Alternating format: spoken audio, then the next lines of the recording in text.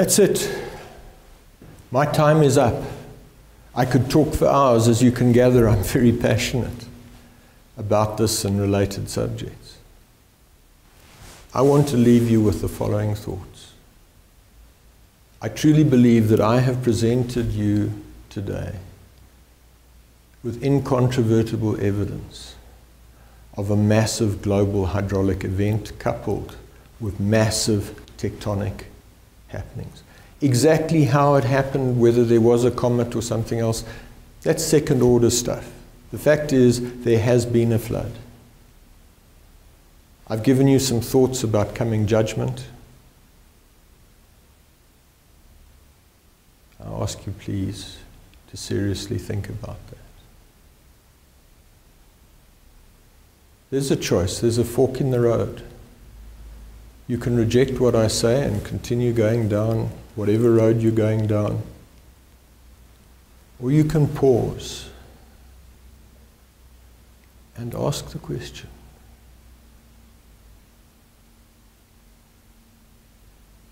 Is there really a creator?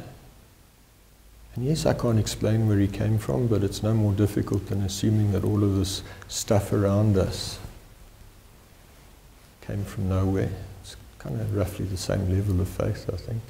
Actually, I find it easier to believe there is a creator. And then that there has been a series of judgments.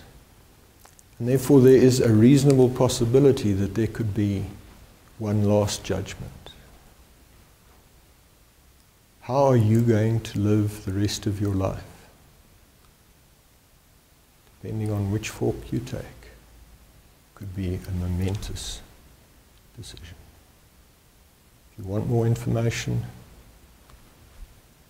contact details are on the screen. Thank you for spending this time with me. In summing up, I'm going to review the entire presentation. For those of you who want to contact me, you can contact me at james at etimin.org or the phone or fax numbers on the screen. In the introduction, we introduced Northcliffe as a landmark for judgment as the pivot point for this whole presentation. And posed the question was the topography we see today formed over millions of years, or was it the result of a sudden catastrophic event? and asked the question how did we explain the mountains and the valleys?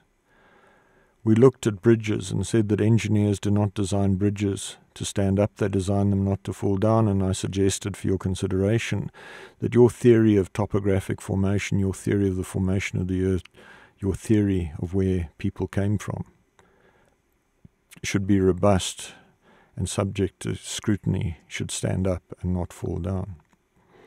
I suggested that you checked your theories and see whether it was tantamount to jumping off the top of a high rise building, flapping your arms and crying, I can fly as you plunge to your death, or conjuring a rabbit out of a hat, or whether there was greater substance into what you believed about the topography that you see around you. I presented some of my credentials and made the assertion that I was talking with first hand knowledge and experience about the formation of rocks and a variety of the other aspects of this presentation that I was talking about was not theoretical. We had a look at some results from my PhD research and noticed that the characteristics of every single test result was nonlinear, frequently exponential. And I made the assertion that it is in fact so that the vast majority of physical phenomena in the world follow nonlinear characteristics. We looked at a fundamental principle that extrapolation should be avoided and suggested that any form of extrapolation going back beyond where records existed had to be viewed with suspicion. I made the assertion that extrapolation of over millions or billions of years was invalid, taking account of nonlinear characteristics, that it was tantamount to an ant on a railway track, claiming to know where the train had come from, how long it took, and the route it followed. We had a look at some images from NASA with regard to deep space. Uh, we looked at the birth of stars and a, a three light year high pillar of gas that you see there. Notice the instability, the continuous movement. We saw Comet Lulin, a dirty snowball, a mass of ice, only 160 times further away than the moon. In other words, close. And we postulated that such an, uh, a comet could fly by or even impact the Earth and melt and cause a flood. We looked at uh, massive chunks of ice in the Kuiper Belt just outside the solar system and postulated that one of those could easily get dislodged uh, and strike the Earth or come close to hitting it. And we saw a crater on Mars which seemed to have the characteristics which would be consistent with a strike by an ice object.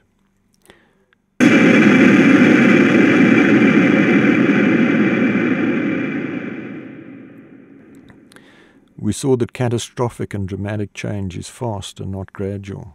And I suggested for your consideration that everything that we were looking at in this presentation was likely to have happened quickly. We then had a look at the South African gold mines and saw that they were comprised of very hard metamorphosed rock, which dipped at 30 degrees and outcropped on Northcliffe and other areas with glass like vitrified ceramic quartzite, extremely hard rock. We had a look at the stratigraphic column of the gold mining reserves, which is typically about two kilometers deep, and noted that the volume of water required for such uniform deposition is huge and that there had to be massive water forces to have brought that material from somewhere. We noted also that the deepest mines were over four kilometers deep, and that was two kilometers below sea level, indicating again massive disruption of the surface. We looked at the 30 degrees dip of the gold mining, of the gold reefs, and questioned how that had happened, how these horizontally deposited layers could have been upthrust like that. We looked at the geology of the surface of the Witwatersrand and saw how massively complex it was and how it spoke of massive surface disruption. And then we looked at a cross section of the the ore reserves, noting that not only did it dip at 30 degrees, but it was uh, intersected with faults thrusting up and down all over the place, indi- indicating massive uh, turmoil and, and trauma of the Earth's surface. And then we saw that the top of that had been cut off and that horizontally bedded material had been laid down on top of it.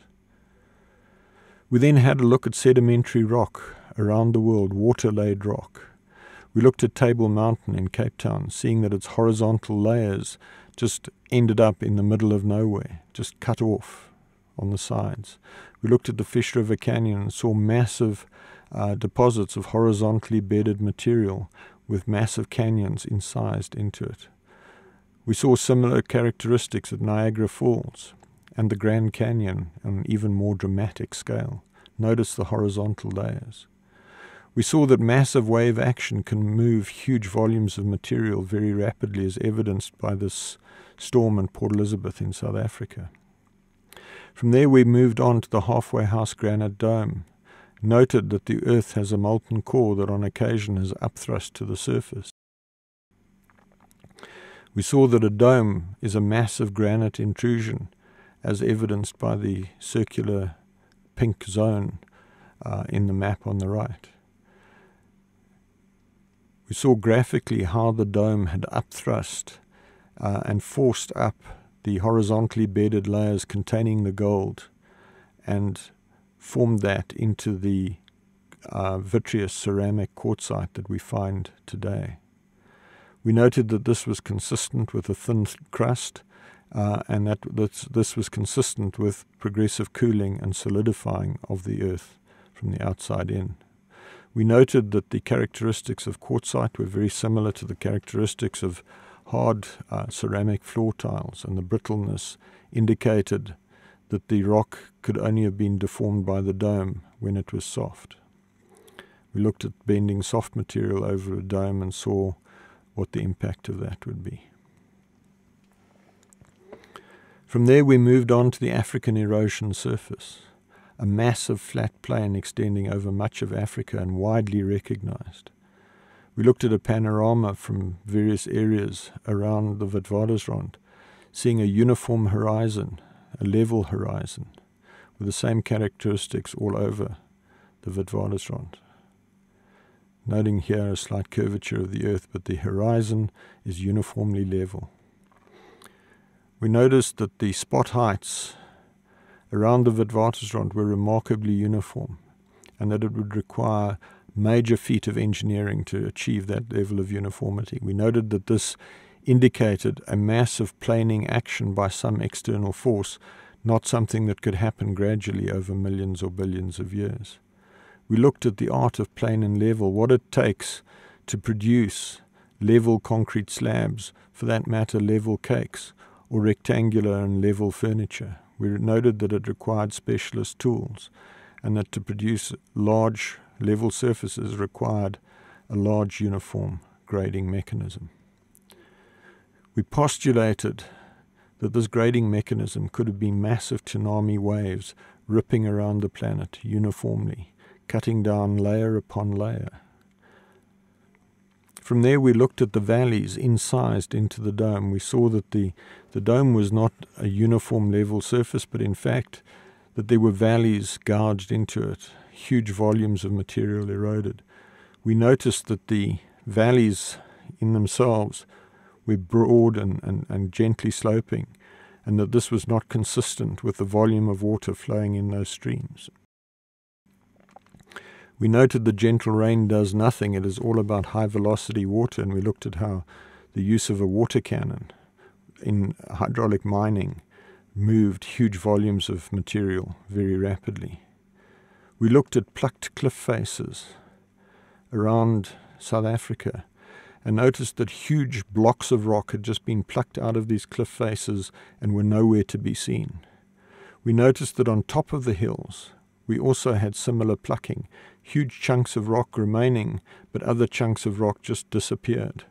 What should have been uniform deposits, uniform layers, anything but uniform we asked the question, where is all the rock gone? Because the uh, slope is downhill all the way to the sea, and suggested that at the very least this material had to have been deposited in the low lying areas of Limpopo province, if not in the Mozambique Channel, and that in, in addition to this, the material all had to have been removed through the Hartbeespoort Dam Gorge. All of this consistent with huge hydraulic action. We looked at the characteristics of erosion of a small river with a limited bed load cutting a deep channel versus a large bed load cutting a wide flat valley, and we suggested that it was only possible to have cut the valleys that we have in the Witwatersrand around Johannesburg by huge volumes of material traveling at huge velocity. We concluded that the rock was not removed by ice, it did not evaporate, it did not dissolve, and it can only have been eroded by massive water suction resulting from extremely high velocity, possibly coupled with boiling water if the cutting back took place while the granite was still in a semi molten state. We asked how this could happen. We noted that continental separation was a well accepted reality with the continents fitting together. We noted that conventional theory says this took place gradually, but from a mechanical point of view, it must have happened rapidly.